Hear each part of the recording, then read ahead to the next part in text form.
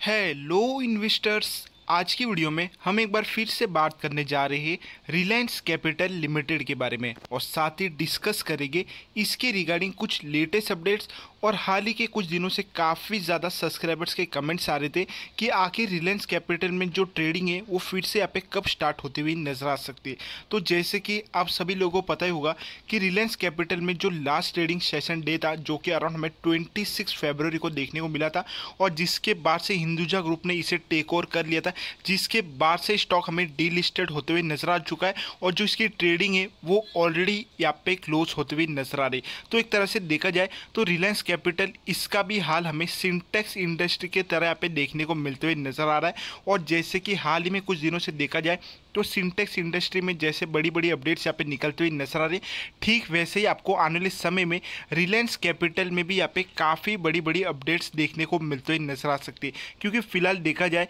तो रिलायंस कैपिटल को यहाँ पे हिंदुजा ग्रुप ने टेक ओवर कर लिया है, जो कि एक तरह से देखा जाए तो इंडिया का एक काफ़ी अच्छा और एक ट्रस्टेड ग्रुप है, जिनके कई ऐसे स्टॉक्स से जैसे कि स्विच मोबिलिटी जो कि अभी हाल ही में मार्केट में लिस्ट होने वाला है, जैसे कि अशोक लेलैंड जो कि हिंदुजा ग्रुप की एक पेरेंट कंपनी है और हिंदुजा ग्रुप के कंपनी ने ही यहाँ पे रिलायंस कैपिटल को टेक ओवर कर लिया है। और जैसे कि फ़िलहाल देखा जाए,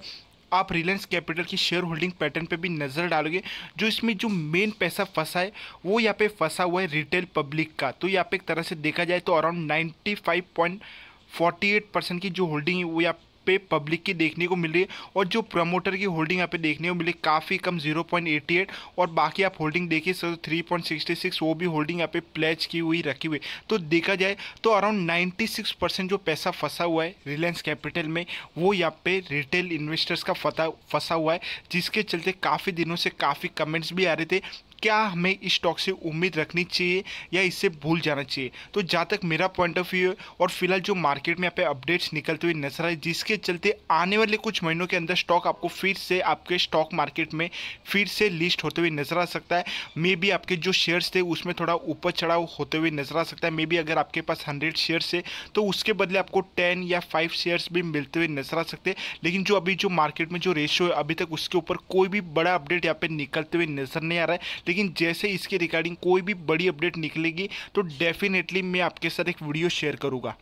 और अब बात करते हैं रिलायंस कैपिटल की। हाल ही की कुछ बड़ी अपडेट्स की तरफ़। तो जैसे कि आप सभी लोगों को पता ही होगा कि रिलायंस कैपिटल का जो सबसे बड़ा एक नेगेटिव पॉइंट है, वो यही है कि कंपनी के ऊपर जो कर्ज है कंपनी के ऊपर जो डेप्ट है, वो काफ़ी ज़्यादा हमें यहाँ पे देखने को मिला, जो कि अराउंड फोर्टी थाउज़ेंड करोड़ का देखने को मिलता है। और लेकिन साथ ही स्टॉक में कुछ नेगेटिव पॉइंट्स तो हमें नज़र आ रहे लेकिन साथ ही कुछ ऐसे भी पॉजिटिव पॉइंट्स नज़र आ रहे जो कि आने वाले समय में आपको लिए एक गेम चेंजिंग पॉइंट भी हो सकता है। और जैसे कि आपको मैंने कई वीडियोज़ में भी शेयर किया था कि रिलायंस कैपिटल के कई ऐसे कोर्ट मैटर चले जहाँ पे इन्होंने जो डिमांड की थी, जहाँ पे इनका काफ़ी बड़ा बड़ा पैसा भी फंसा हुआ है, जिसमें कोर्ट में ऑलरेडी इनके ऊपर जो सुनवाई चल रही है और फ़िलहाल जो मार्केट में यहाँ पे न्यूज़ चल रही है, उसके मुताबिक बहुत जल्द इनका जो पैसा है, वो यहाँ पे फिर से रिलायंस कैपिटल को मिलते हुए नज़र आ सकता है, जिसके चलते आने वाले समय में रिलायंस कैपिटल में कुछ ऐसे नेगेटिव पॉइंट्स थे तो वो भी आने वाले समय में यहाँ पे पॉजिटिव होते हुए नज़र आ सकते और जैसे कि हाल ही के कुछ दिनों पहले एक काफ़ी बड़ी अपडेट यहाँ पे निकलती हुई नज़र आई थी, Reliance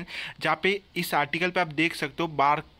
Barclay to encourage Hinduja group to bond of Reliance capital acquisition तो यहाँ पे अराउंड 4,300 करोड़ का एक काफ़ी बड़ा इन्वेस्टमेंट होते हुए नज़र आ सकता है। आने वाले कुछ समय के अंदर जहाँ पे हिंदुजा ग्रुप ऑलरेडी इसके ऊपर बातचीत करते हुए नज़र आ रही जहाँ पे हिंदुजा ग्रुप फिर से रिलायंस कैपिटल को एक नई कंपनी के तौर पर शुरुआत करती हुई नज़र आएगी। तो ये कुछ ऐसे पॉजिटिव पॉइंट्स फ़िलहाल यहाँ पे नज़र आ रहे हैं क्योंकि एक तरह से देखा जाए फ़िलहाल कंपनी के ऊपर काफ़ी ज़्यादा कर्ज हमें देखने को मिल रहा है और फ़िलहाल जो बड़े बड़े इन्वेस्टमेंट के जो आर्टिकल्स यहाँ पे हमें देखने को मिले, जिसके चलते हम इजीली प्रिडिक्ट कर सकते हैं। आने समय में डेफिनेटली रिलायंस कैपिटल में भी हमें बहुत बड़ी बड़ी अपडेट्स यहाँ पे देखने को मिलती हुई नज़र आ सकती है और हंड्रेड परसेंट आने वाले समय में ये कंपनी आपको फिर से स्टॉक मार्केट में लिस्ट होती हुई नज़र आ सकती है।